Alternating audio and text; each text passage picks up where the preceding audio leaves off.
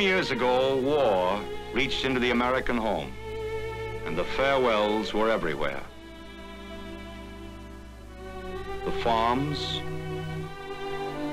the shanty on the tracks, the lavish apartments, the uptown flats, the shrubbed estates, the modest houses of the suburban streets. Everywhere the men were borrowed or taken for keeps. The youngest, the cleanest, the best.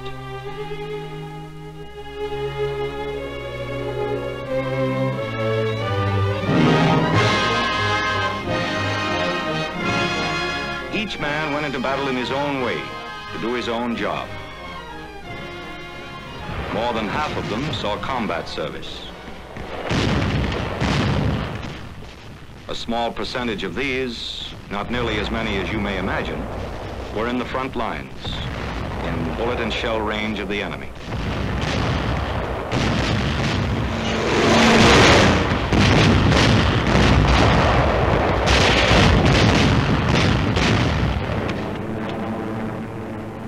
For anyone of this latter group, a very special experience, he was at any moment expendable.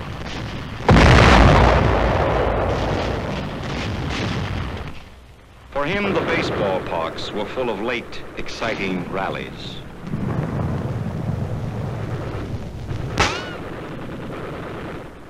For him, the beach parties were not as pleasant as they had been a few summers before. For him, the rivers ran high, and the boating was not so good.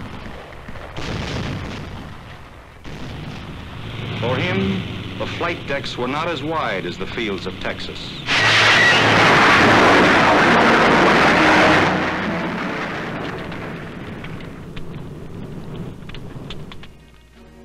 For the rest, there were a thousand odd military jobs, each dependent on the other, each vital to the winning of the war, each made memorable by the fact that it represented the protection of the lives and security of all of us. But whether in combat or not, whether a machine gunner 300 yards from the enemy or a switchboard operator 300 miles from the enemy, the serviceman learned about war. He knew the unutterable loneliness of it. He knew the unending boredom of it. He knew the mud of it, the dust of it. He knew the food of it. He knew the coffee of it.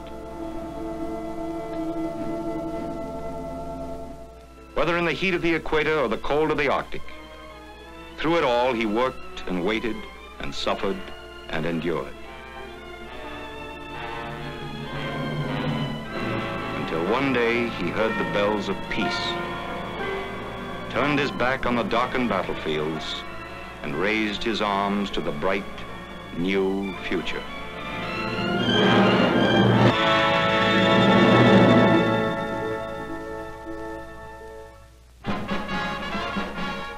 He returns with all his experiences in the fight to kill fascism, to kill Japism. Now he returns. With him, those who gave a permanent share of their bodies and minds to the nation. The permanently wounded physically, 1% of all returning servicemen. Those with severe emotional disorders, 1% of all returning servicemen. But returning with them, the huge majority group, more than 9 out of 10, the unhurt physically or mentally, the average returning soldier. It is of him we speak, of this average soldier, that we report on the questions, has he changed? What has he learned? What does he want? Has he been brutalized by war? Can he readjust to the life and times of a civilian?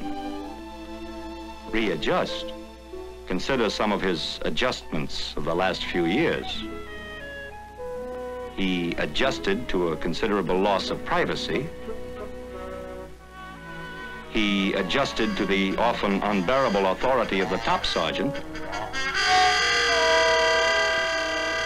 He adjusted to 50 bucks a month. He adjusted to the foxhole, a slit trench, and a number of unprecedented ways of going to bed.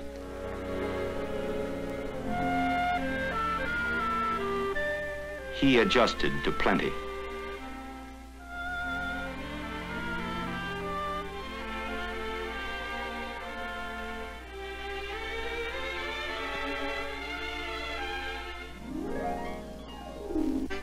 Through it all, he kept his stride. He didn't lose his sense of humor.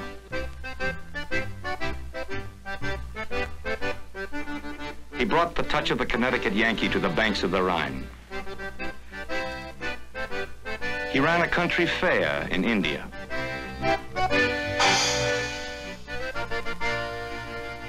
He staged a Kentucky Derby in Austria.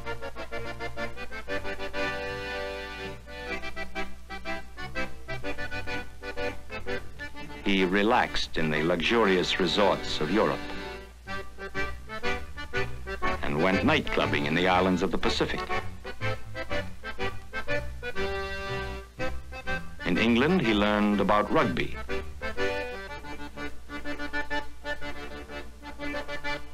And somewhere in the Mediterranean, he discovered an old Egyptian game called three-card Monte. He kept his stride.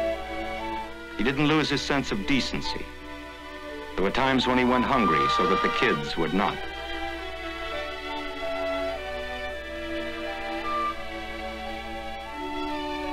He was an ambassador to the children of the world. Let those who worry about his painful readjustment to civilian life remember his adjustment to war.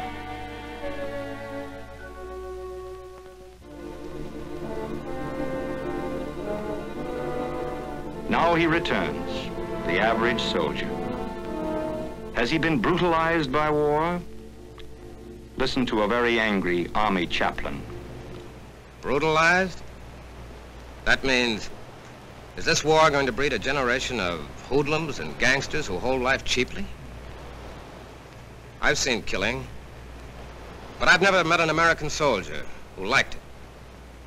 I've seen men under combat achieve a feeling of humanity such as I'm sure they'd never known before. Seen them comfort each other when homesickness shattered their spirit.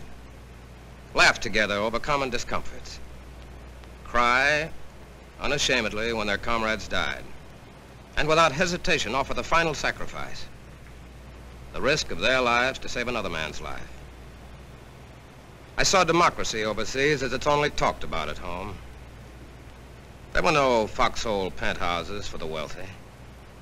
No restricted areas for white Christians only. Brutality is something more than a surface matter revealed by rough beards, bloodshot eyes, strong language, torn clothes, muddy bodies. Real brutality is lack of imagination, a disregard for the rights of others, the very things we've been fighting to destroy.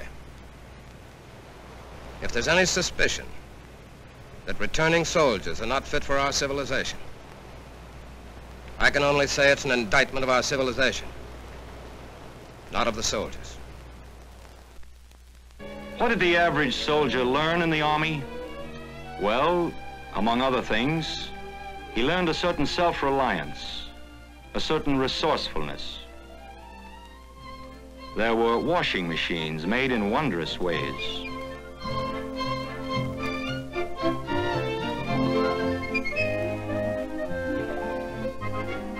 When he didn't have a ladder, he used an elephant. To the infinite virtues of the Jeep, he added a new one. He jacked it up and turned it into an ice cream freezer.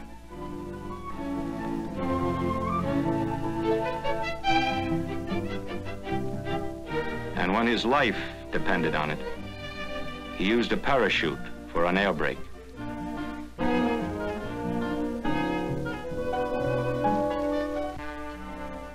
He learned the quintessence of democracy.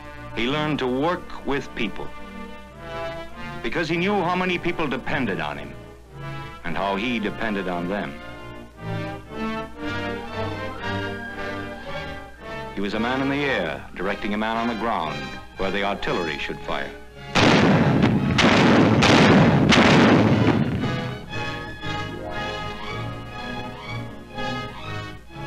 Man on the ground, directing a man in the air where to drop his bombs.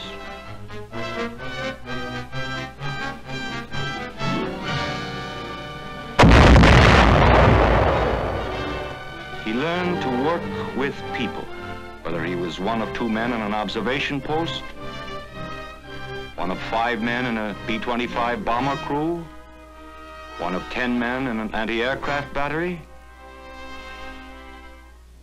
or one of five dozen clerks in the rear echelon headquarters.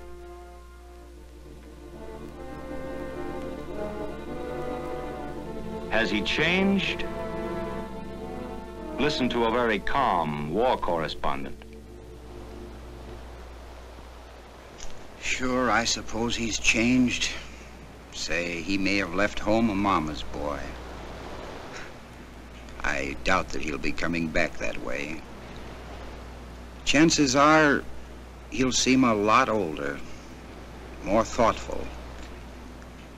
He'll wonder about things, question things a good deal more. You don't go through hell and high water and stay unchanged.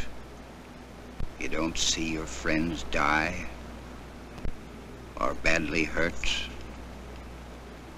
and stay the same.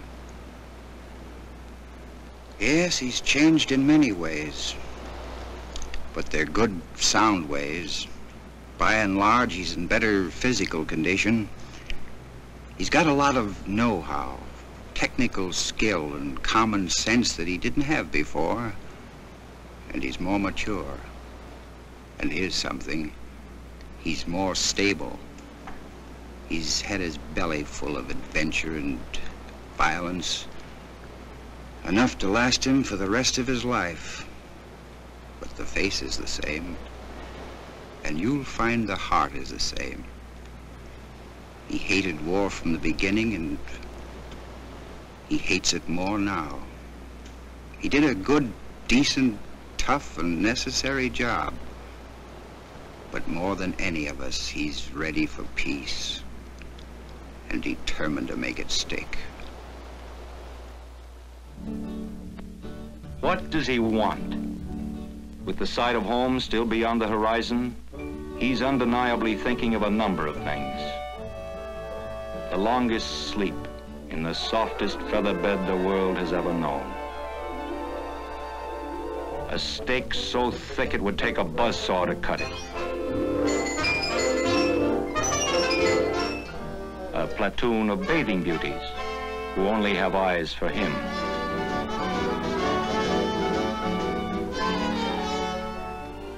But when the idle dream has drifted, most of all, the average soldier, sailor, marine, coast guardsman wants simply to be an average civilian.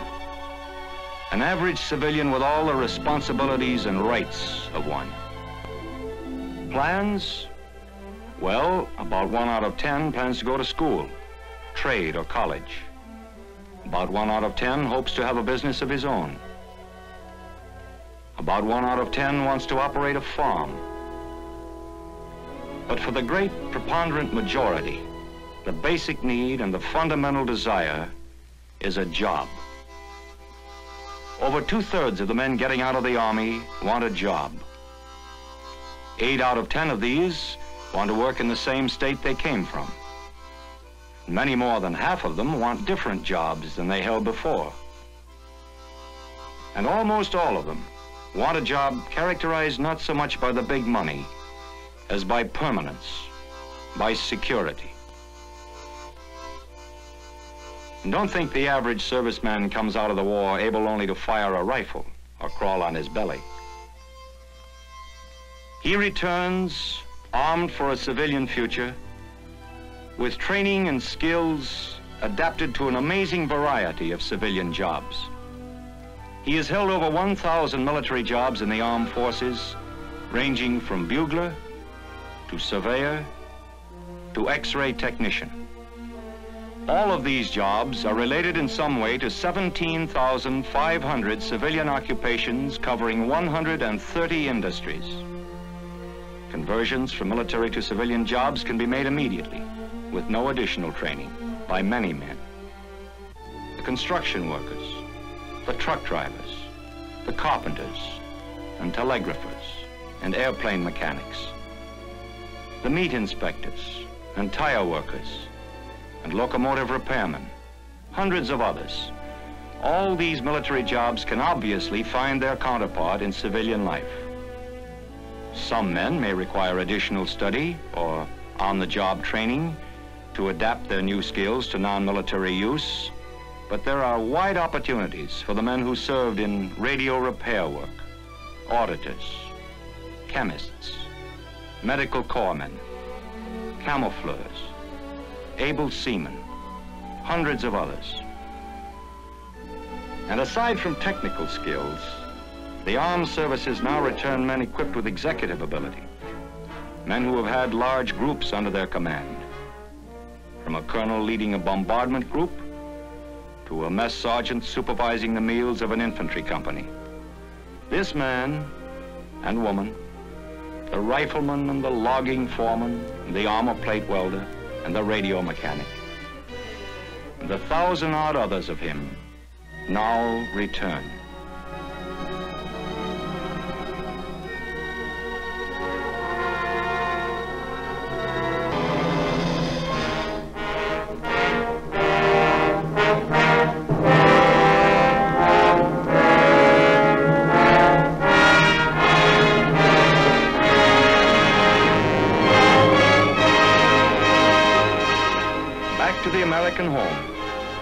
Welcome and well done everywhere.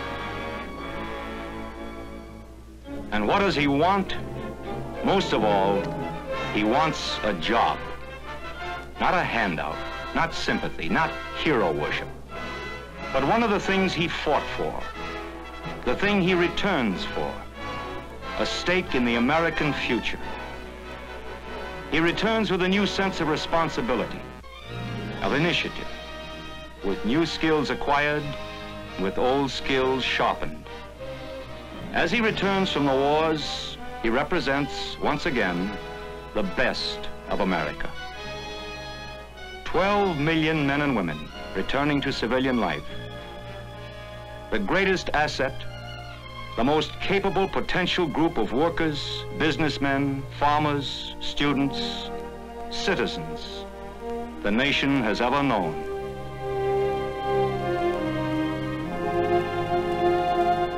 He has earned a welcome to outlast the joyous whistles and the paper streamers. We welcome him to our hearts, but we must also welcome him to our benches and our desks, to our shops and fields, so that once again he becomes part of us, part of what he fought to make possible, a bolder, better, more democratic land. We must match his courage, his vigor, and his faith.